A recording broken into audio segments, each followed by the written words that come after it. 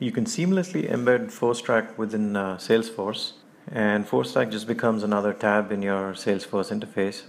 It prompts you for the username and password, and if you set up single sign-on, you can actually bypass this completely. And once you log in, you'll see the same UI uh, that you see in MicroStrategy Web, and you'll notice that it's fully interactive.